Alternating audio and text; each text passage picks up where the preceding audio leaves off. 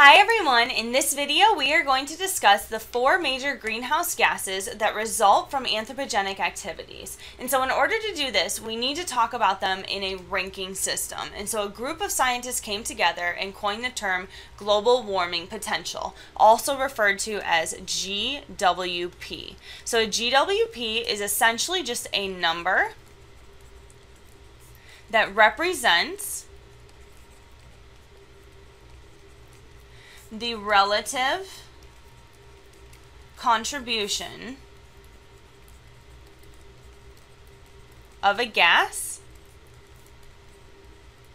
to, or toward, I should say, global warming. Okay. And so essentially this number is uh, determined from taking three different factors into account. So the first one is what is the concentration? So how much of every single one of these greenhouse gases actually exists in our atmosphere right now at this very specific time. The second thing they talk about is how long does this molecule actually live in our atmosphere? Is it there for five years? Is it there for 120 years? What is its lifetime? And they have a very specific term when they talk about the lifetime of these molecules molecules. And it's actually pretty straightforward. It's just the global atmospheric lifetime. And essentially just what this is, is the length of time it takes to remove a gas from the atmosphere. So how long is that gas in the atmosphere? How long does it take exactly from when the carbon dioxide is produced and released into our atmosphere? How long does it take to break that molecule down and have it actually go away and leave our atmosphere? So that's just what we're talking about. Okay, so GWP, we take into account the concentration, we take into account the lifetime of the molecule, and we actually take into account the third factor is how much IR radiation that molecule actually absorbs. So does it absorb a lot of IR radiation? Does it really heat up our planet? Or or is it one of them that one of the molecules that just kind of heats up a little bit? It doesn't really absorb that much IR radiation. It's not that big of a deal. So what we need to do is come up with a chart here to plot all of this out. So the first thing in our chart is going to be the greenhouse gas. The second thing is going to be the concentration of the molecule at the year 1750. We're also going to look at the concentration of the molecule now in the year 2015.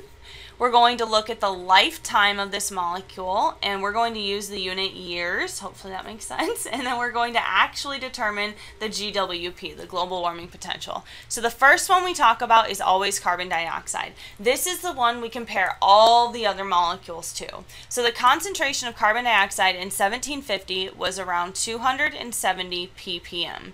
Right now, it's actually just reached 400 ppm. That happened about three months ago. So scientists are not happy about that.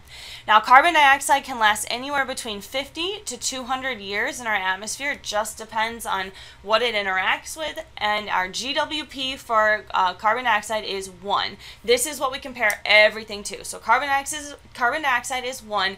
What are all the molecules? So the next one is methane, or CH4. Its concentration in the year 1750 was 700 ppb or parts per billion, and then in the year 2015 it is now 2,566 ppb. So this has increased a lot, okay, a lot, a lot, a lot, more than three times of its amount. It's, it's just a lot, too much but it only lasts 12 years in the atmosphere, so it's actually not that bad for us just because its lifetime is so short. So it only has a global warming potential of 21, still worse than carbon dioxide. Now, let's look at nitrous oxide or laughing gas. Its concentration was originally 275 parts per billion. Now it's right about 350, just under 350 ppb. It lasts about 120 years, so that's a big problem, which is why it has a global warming potential of 310. Now, our worst offender is actually Freon 12 okay, remember, which is just a chlorofluorocarbon. And so this had zero, a concentration of zero in the year 1750. Because remember, we as humans created this, so it did not exist in the year 1750. Now it has right about 0.5 ppb. It was hard to get an accurate number of that right now, but from the graph I could read, it looked like it was just under 0.5, so we're just going with 0.5 for right now. And then for the lifetime, it lasts 102 years in our atmosphere, so it has a global warming potential of 8 1,100. So Freon 12 is nasty. It's a bad greenhouse gas. Not only does it destroy our ozone, it also affects us in terms of global warming. So let's review Freon 12 here. What is the molecular geometry of Freon 12? And you should know the formula for it, but I'm going to give it to you just in case you've forgotten. It's CCl2F2. Go. All right, did you get an answer? Just in case you didn't, let's do it together. So carbon, remember, carbon always wants to be in the center. So we have carbon in the middle. Then we have four valence electrons on carbon. So now we're just going to take the four other atoms and try to draw it around there. So now this one actually has the, the fluorines next to each other in the cis position, and the chlorines are next to each other. And so we just draw these together like this, and then we can redraw our molecule and make it pretty. But essentially what this thing looks like is a tetrahedral. So hopefully you got that correct. It is tetrahedral. Bye guys.